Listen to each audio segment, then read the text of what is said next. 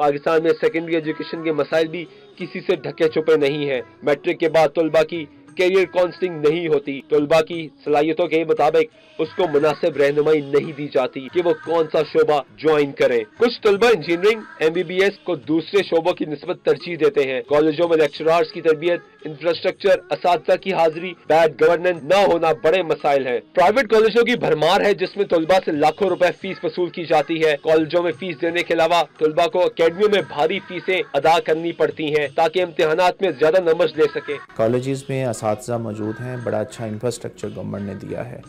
लेकिन जो public sector colleges में जो एनरोलमेंट है, ख़ास तौर पे ग्रेजुएशन की और पोस्ट ग्रेजुएशन की, वो बहुत कम है। और उसकी बुनियादी वजह यह है कि हम उनको उस तरह से स्टूडेंट्स को अट्रैक्ट नहीं कर पा रहे। हमें जनरल एजुकेशन से निकलकर स्किल्ड बेस एजुकेशन की तरफ़ जाना चाहिए। और ये जाना पड़ेगा, क्योंकि अब, अभी भी देखें तो जो प्राइवेट स्टूडेंट अपियर हो रहे हैं मुख्तु यूनिवर्सिटीज़ और अफिलिएटेड कॉलेज़ के थ्रू उनमें जो पास की रेशो है वो 30 टू 35 परसेंट है। 60 टू 70 परसेंट तक स्टूडेंट्स वो फेल हो जाते हैं ग्रेजुएशन में। और जो पास होते हैं, उनमें भी बहुत कम स्टूडेंट्स हैं जो अब जॉब्स ले पा रहे हैं। पाकिस्तान में इम्तिहानी निज़ाम पर भी बहुत से सवाल उठाए जा रहे हैं, जिसकी मिसाल हाल ही में होने वाले लाहौर बोर्ड के जेर एहतमाम इंटर के इम्तहान के रिज़ल्ट के खिलाफ तलबा का एहतजाज था। अंदाजे के मुताबिक तीस हज़ार ऐसी जायद तलबा और तलबात ने गलत मार्किंग का इल्ज़ाम लगाया और रीचेकिंग की दरख्वास्त की।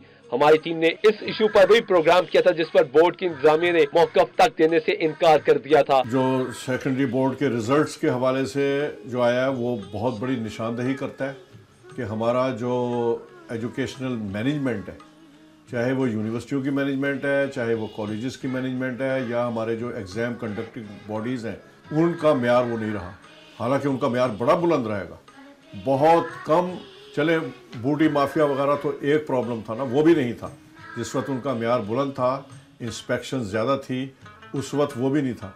लेकिन अब जो मैार गिरा है, उसमें तो रिज़ल्ट्स चैलेंज हो जाते हैं। रिज़ल्ट्स तो ऐसे कभी भी बल्क में इस तरह के लोग निकल आए, बच्चे निकल आए और कंप्यूटर टेक्नोलॉजी आने के बाद आईटी की सपोर्ट मिलने के बाद रिज़ल्ट जो है वो चैलेंज हो रहे हैं। तो इसका मतलब ये है कि हमारा जो मैनेजेरियल सेटअप है एजुकेशन का, उसमें भी प्रॉब्लम आ गई आप रेंडमली किसी भी ज़िले में जाएँ, जाके कि सुबह सुबह वहाँ पे पहुँच जाएँ, किसी को मालूम ना हो, जाके देखें कि क्या हो रहा है गवर्नमेंट कॉलेज में, पंजाब में।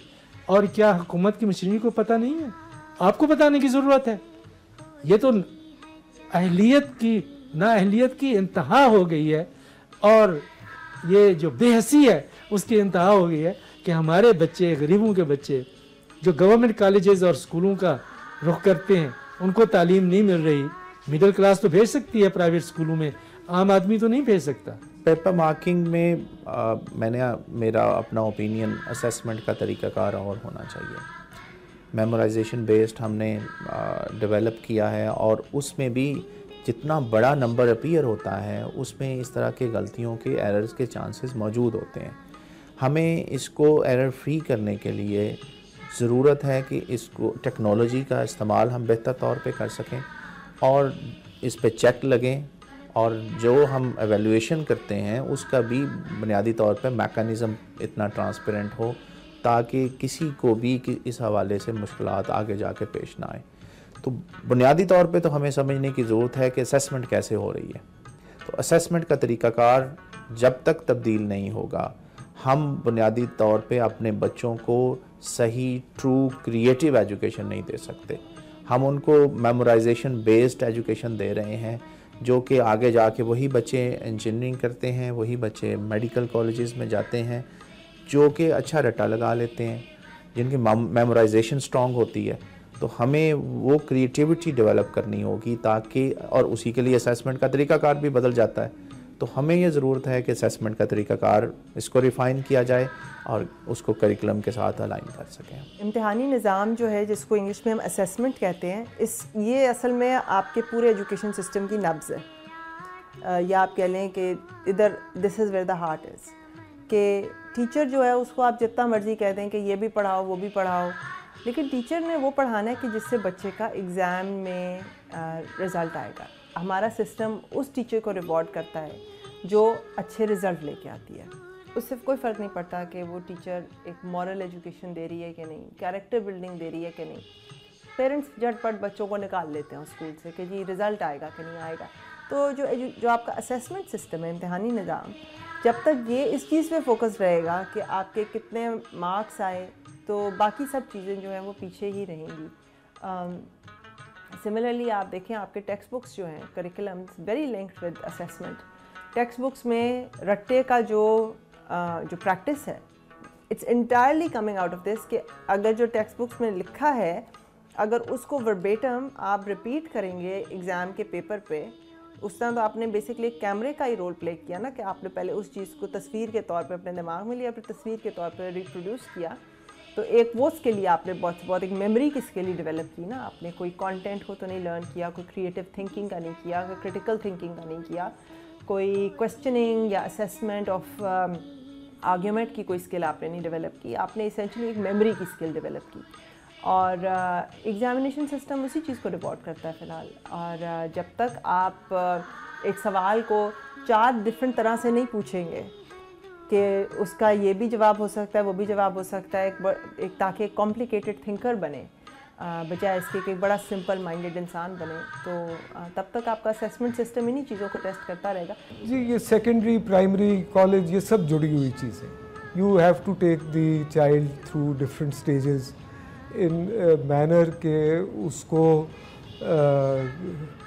रट्टा लगाने की ज़रूरत कम से कम पैदा हो और उसके कॉन्सेप्ट्स वो क्लियरली जो है चीज़ों के बारे में वो डेवलप हों।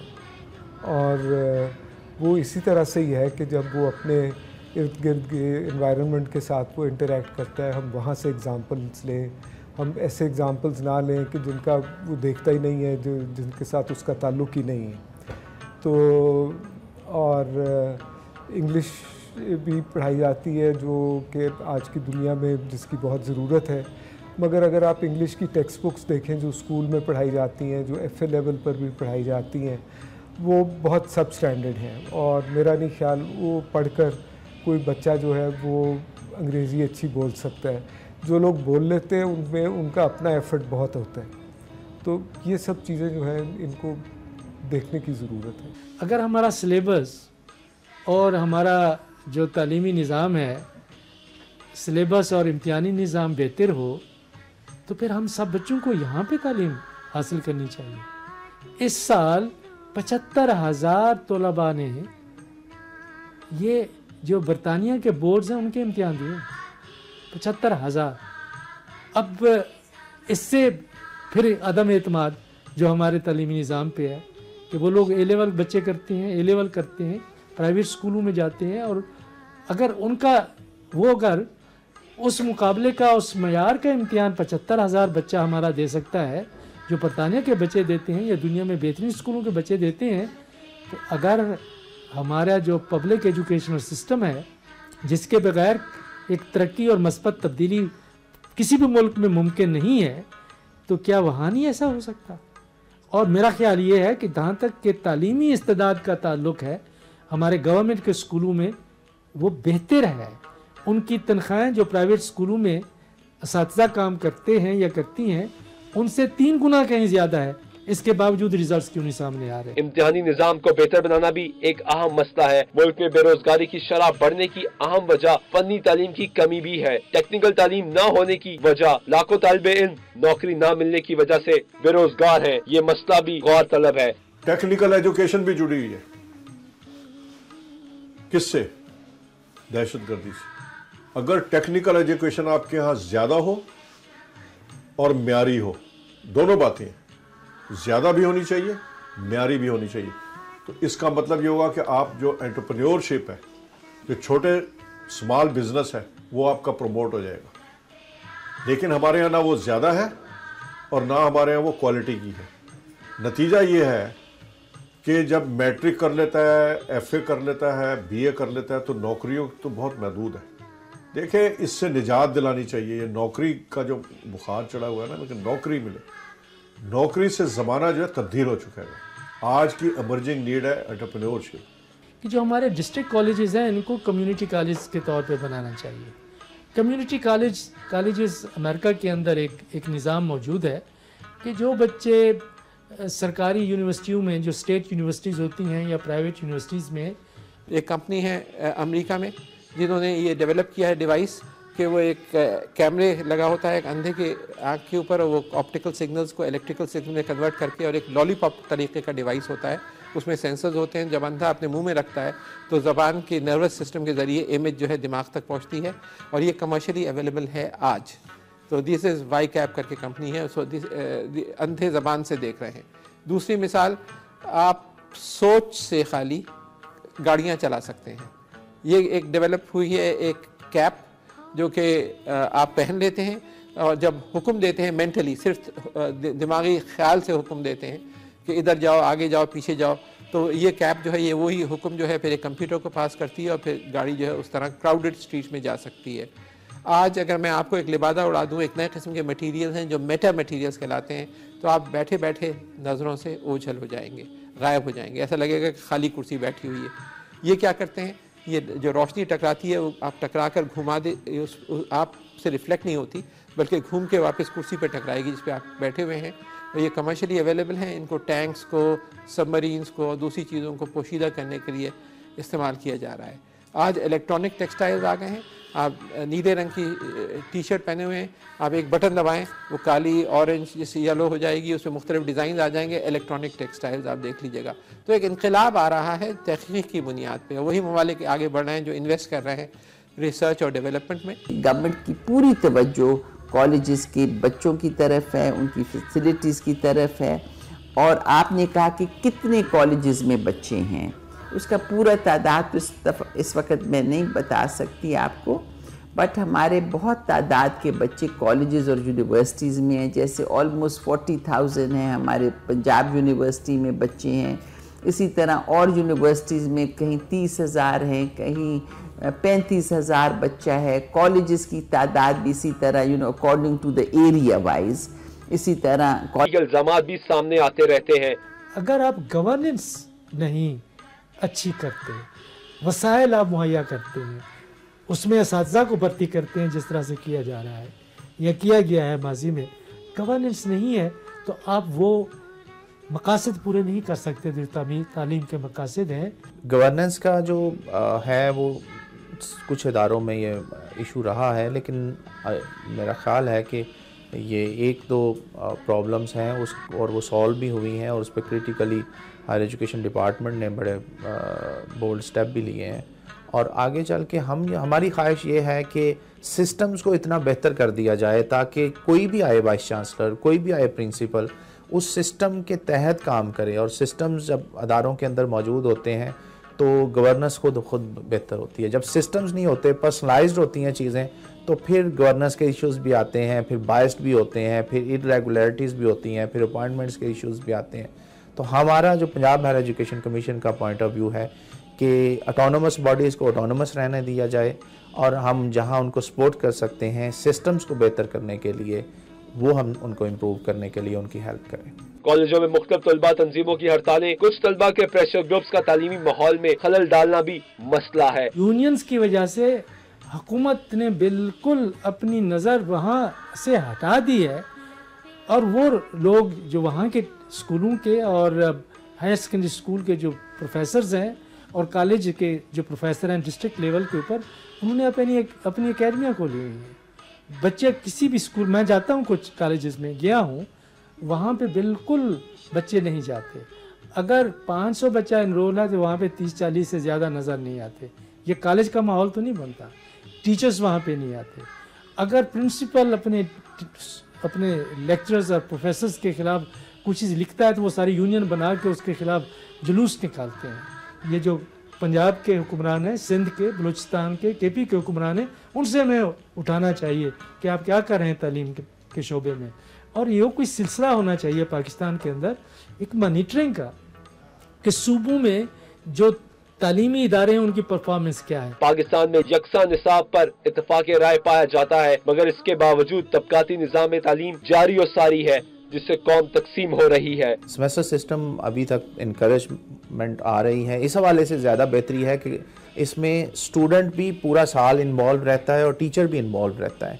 जो एनुअल सिस्टम था ख़ास तौर पे जो हमने कॉलेजेस में देखा एनुअल सिस्टम में चार से छः माह तक बच्चे एंगेज होते थे और इतनी देर ज़ाहिर इस होते थे।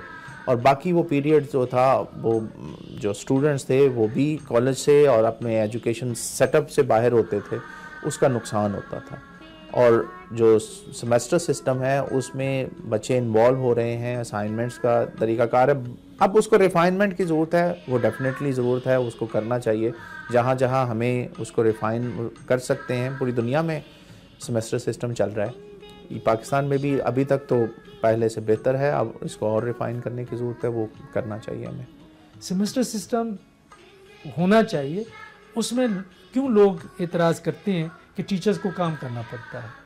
और फिर टीचर की इंटेग्रिटी होनी चाहिए। जिस टीचर की इंटेग्रिटी नहीं है, किसी की फेवर करता है, किसी से डरता है, कोई धमकी देता है तो नंबर ज़्यादा कर देता है तो ज़ाहिर है कि उसको फिर वहाँ टीचर होना ही नहीं चाहिए। यूनिवर्सिटी का काम है कि इस निज़ाम को बेहतर करे, इसको बेहतर तरीके से चलाए। ये जो एनुअल सिस्टम है, उसमें बच्चे पढ़ते नहीं।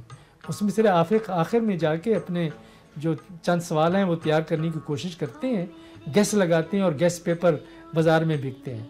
उनको देख के पास हो जाते हैं तो उससे तालीम सही नहीं होती। देखें, सेमेस्टर सिस्टम हो या कोई और सिस्टम हो, कामयाब है सब, अगर आप उनको ऑनेस्टली चलाएँगे। अगर आप घपले करने शुरू कर देंगे तो कोई सिस्टम भी कामयाब नहीं है। इस वक्त ट्रेंड दुनिया भर में यही है कि सेमेस्टर सिस्टम है और in most countries people have move towards this thing तो इसको सिर्फ़ ईमानदारी के साथ और जो इसकी बेसिक फ़िलासफ़ी है, उसको साथ रख कर उसको चलाने की ज़रूरत है। सेमेस्टर सिस्टम कामयाब भी हुआ है और सेमेस्टर सिस्टम नाकाम भी हुआ है।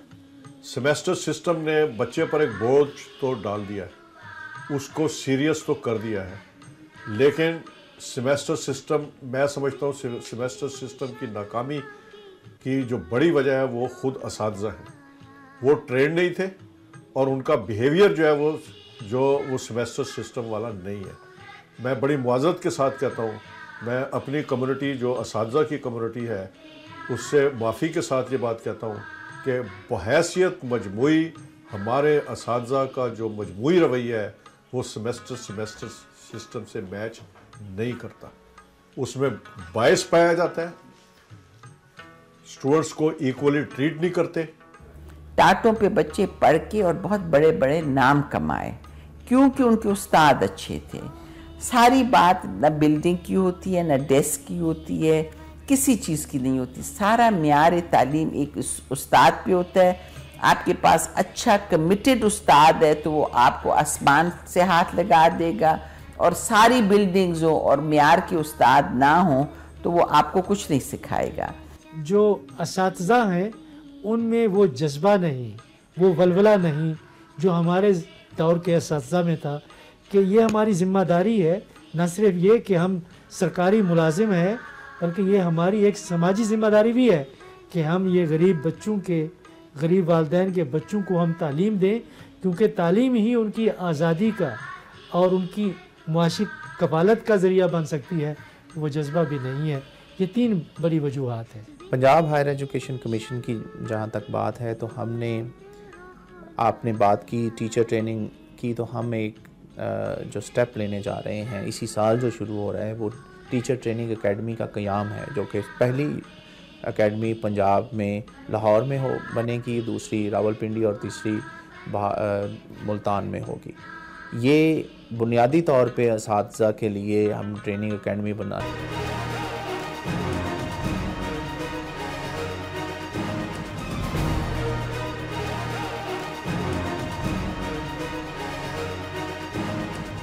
अठारहवीं तरमीम के बाद तालीम का शोबा सूबों के स्पुर्द है और पिछले चंद सालों में तालीम की सूरत बेहतर बनाने ऐसी मुतलिक सूबों के दरमियान सेहतमंदाना मुकाबला हो रहा है। लेकिन इसके बावजूद इस सदी में ये मुल्क तालीम याफ्ता होता नज़र नहीं आ रहा। वाजह रहे की पाकिस्तान पिछले पंद्रह सालों में अकवा मुतहदा के उन आठ अहदाफ को हासिल करने में मुकम्मल तौर पर नाकाम रहा है, जो मिलेनियम डेवलपमेंट गोल्स के तहत तमाम तरक्की पजीर ममालिक के लिए तय किए गए थे। ये जो अठारहवीं तरमीम आई है इसमें एजुकेशन अब बुनियादी हकूक़ में शामिल हो गई।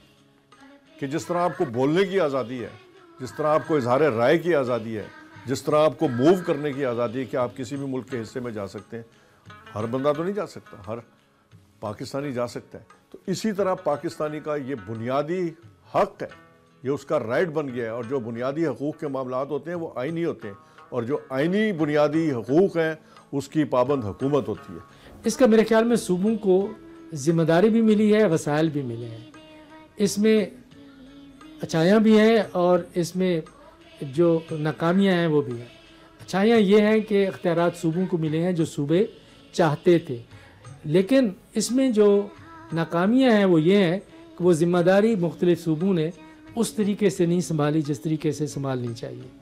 मेरा जो अपना मुशाह है या तजर्बा है, हो सकता है कि मैं सही ना कह रहा हूँ, लेकिन पंजाब बेहतर एजुकेशन के लिहाज से और बाकी जो सोशल डेवलपमेंट के काम है, पंजाब की परफॉर्मेंस बाकी सूबों से नस्बता बेहतर है। और जो एक स्ट्रक्चरल चेंजेस तालीम के शोबे में जो के पी ले आया है, वो बेमिसाल है। तो ये दो सूबे आपस में मसाबकत में हैं, आपस में मुकाबले में हैं और उसके पीछे जो सियासी अजायम हैं, वो भी हैं, मकासद भी हैं जो एक तहरीक दे रही हैं, तहरीक इंसाफ को और पी एम एल एन को। मकसद ये है कि पी एम एल एन चाहती है कि वो के पी को अगले इंतबात में कैप्चर करे और के पी में जो पी टी आई है, वो ये चाहती है कि पंजाब में यहाँ पे वो इकतदार को संभाले। हालात बलूचिस्तान में दिगर गुँ हैं। सिंध में सबसे बदतर है, इसलिए कि कोई गवर्नेंस नहीं है, जहाँ तक कि इंटीरियर सिंध का ताल्लुक है। करप्शन है और मैं समझता हूँ कि उस, उसमें उनके जो साहिब इकतदार लोग हैं, वो हर सतह के ऊपर मुलविस हैं। इसमें सबसे जो बड़ा फ़ायदा तो एजुकेशन के हवाले से और हेल्थ के हवाले से है, ताकि और हम, आपके सामने जो पंजाब हायर एजुकेशन कमीशन है, उसकी एक मिसाल है। अब जहाँ एक अदारा था हायर एजुकेशन डिपार्टमेंट, उसको कहीं ज़्यादा फोकस हम करके पंजाब हायर एजुकेशन कमीशन उन एरियाज़ में जहाँ हायर एजुकेशन डिपार्टमेंट नहीं कर पाया था बिकॉज़ ऑफ़ द रिसोर्स जो, उनके ह्यूमन रिसोर्स था, बाकी प्लानिंग थी। पंजाब हायर एजुकेशन कमीशन अब सपोर्ट कर रहा है हायर एजुकेशन डिपार्टमेंट को कि ना सिर्फ़ कैपेसिटी बिल्डिंग कर सकें, हम अपने इस की, उसके साथ साथ उनके अंदर रिसर्च की जो सपोर्ट चाहिए थी और जो विज़न चाहिए था और जो प्लानिंग की आप बात कर रहे थे, वो हम दे रहे हैं। ये अठारहवीं तरमीम की बदौलत ही मुमकिन हो सका है। Higher education commission Punjab higher education commission का क़्याम और उसके साथ जुड़े हुए बहुत सारे पॉजिटिव इकदाम वो उसकी एक बड़ी अच्छी मिसाल है। अठारहवीं तरमीम के बाद जो है वो अठारहवीं तरमीम से पहले भी जो लोअर लेवल एजुकेशन और कॉलेजेस जो थे वो सूबों के तहत ही थे। और यूनिवर्सिटी एजुकेशन जो थी वो यूजीसी के तहत होती थी अठारहवीं तरमीम से पहले। सिर्फ़ अठारहवीं तर, तरमीम के बाद कोशिश ज़रूर की पिछली हुकूमत ने कि आला तालीम को सूबों में ट्रांसफ़र कर दे और प्रोविंशियल एच बना ली। सिंध एच और पंजाब एच बन गई। लेकिन फिर मैं सुप्रीम कोर्ट में गया और मैंने एक पटिशन दायर की कि ये जो है, ये गैर कानूनी काम है। और उसके नतीजे में सुप्रीम कोर्ट ने हुक्म दिया कि अठारहवीं तरमीम के तहत आला तालीम जो है, ये प्रोटेक्टेड है एज अ फेडरल सब्जेक्ट और ये जो है डिसीज़न सुप्रीम कोर्ट का मौजूद है। तो ये जो बनी है सिंध एच और पंजाब एच वो कंटेम्प्ट ऑफ़ सुप्रीम कोर्ट है। और मैंने और मारवी मेमन साहिबा ने पटिशन फ़ाइल कर रखी है आज से चार साल पहले सिंध हाई कोर्ट में, जिसका अभी तक कोई फैसला नहीं आया। हम इंतज़ार कर रहे हैं, चार साल गुजर गए हैं।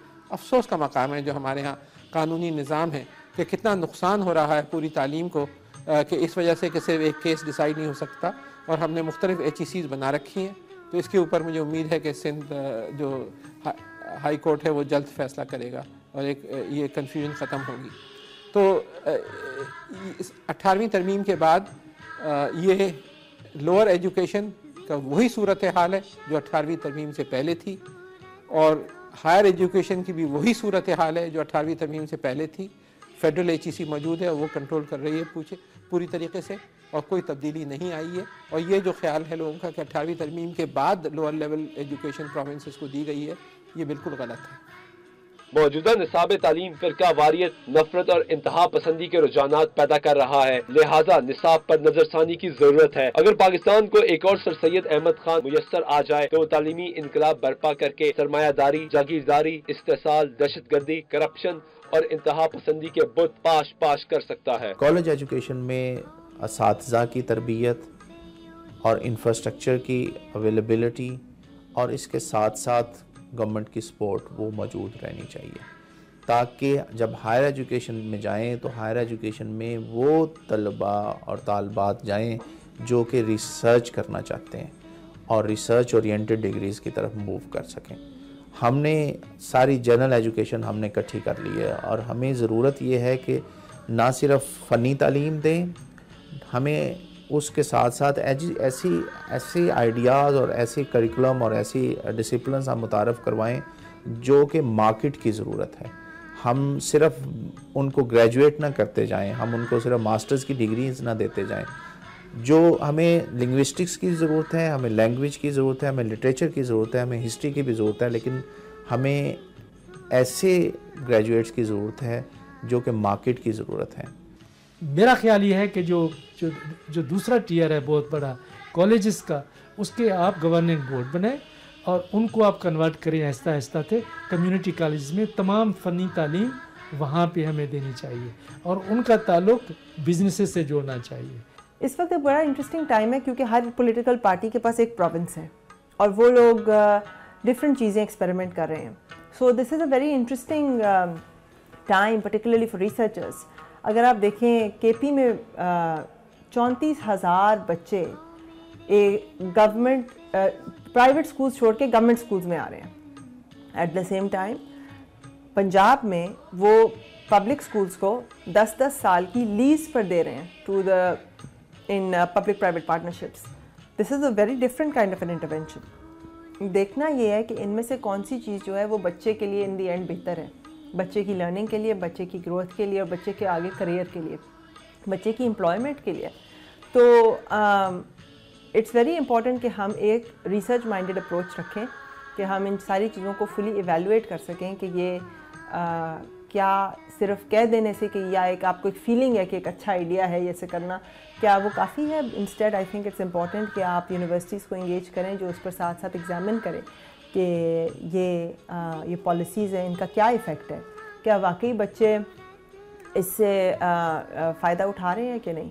बट जब तक आप वो एक असेसमेंट ऑफ़ पॉलिसीज़ नहीं रखेंगे तब तक जैसे कि people who don't learn from their history their geography changes so we really need to look at our policies and examine them very carefully कि which policies are working and which are not colleges को public sector colleges पे Punjab higher education commission बुनियादी तौर पे हमने तवज्जो देनी शुरू की है।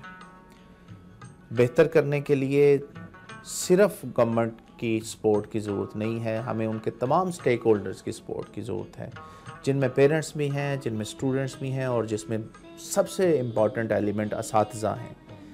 उनको रियलाइज़ करना होगा कि ये इतना बड़ा इंफ्रास्ट्रक्चर जो कॉलेजेस का 700 से ज़ायद कॉलेजेस पंजाब में पब्लिक सेक्टर में हैं। और अगर हम ये देखें कि उनकी ग्रेजुएशन जो कर रहे हैं बच्चे और जो इनरोल हो रहे हैं बच्चे, उनके नंबर बहुत कम है। और फेल होने का जो रेशो है बच्चों के अंदर वो बहुत ज़्यादा है। और मैंने आपको पहले बताया कि 60 टू 70 परसेंट फेल हो रहे हैं बच्चे।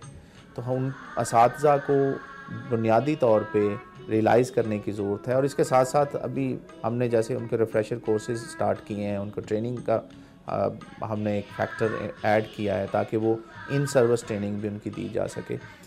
ये सारे एलिमेंट्स मिल के इसको रिवाइव कर सकते हैं। डेवलप्ड कंट्रीज़ और डेवलपिंग कंट्रीज़ में एक मेजर फ़र्क है कि डेवलप्ड कंट्रीज़ में रिसर्च पॉलिसी और प्रैक्टिस के जोड़ को इंटैक्ट रखा जाता है। वेर एज डेवलपिंग कंट्रीज़ में दो चीज़ें तो मिल जाएँगी, कि रिसर्च भी होगी, और पॉलिसी भी होगी, या प्रैक्टिस होगी, और पॉलिसी होगी, लेकिन कभी तीनों एक ही, एक साथ नहीं रहेंगी। मैं आपको एग्जांपल देती हूँ। कितने सारे प्रोग्राम्स हैं हमारे एजुकेशन के, कितनी अच्छी नॉन प्रॉफिट्स अच्छा काम कर रही हैं। लेकिन कभी ऐसे नहीं होगा कि कोई पॉलिसी मेकर उनके काम को देखे और उसको स्केल करे। यानी कि एक प्रैक्टिस है, हो सकता है वो एक रिसर्च बेस्ड मॉडल पे काम कर रही हैं, लेकिन उनको स्केल नहीं मिलेगा। सिमिलरली कभी ऐसे होता है कि कोई प्रैक्टिस का आइडिया है जो सही पॉलिसी मेकर के सामने पहुँच गया चाहे उसके पीछे रिसर्च है या नहीं है पॉलिसी मेकर को ख्याल आया ये बड़ा अच्छा लगेगा। कोई उसमें अंदाज़ा नहीं कि जी इसका हमारी मुल्क के कॉन्टेक्स्ट के साथ क्या मिलाप बनता है कि नहीं बनता लेकिन वो उसको फुल स्केल अप कर देंगे। हर जगह जी अब वो अब ये हमारी पॉलिसी मैं आपको एग्जांपल देती हूँ। आई बिलीव ये यूएन की किताबें थी जो छपी हुई थी द रूरल पंजाब के लिए आ, बच्चों की किताबें थी। और रूरल पंजाब में उन्होंने वो किताबें का कंटेंट रखा हुआ था करिकुलम जो रूरल अफ्रीका में था। हाँ शायद रूरल पंजाब और रूरल अफ्रीका में बच्चों की लर्निंग आउटकम्स सिमिलर हैं लिटरेसी रेट सिमिलर है। पर रूरल अफ्रीका में जिराफ्स और जीब्राज फिरते हैं।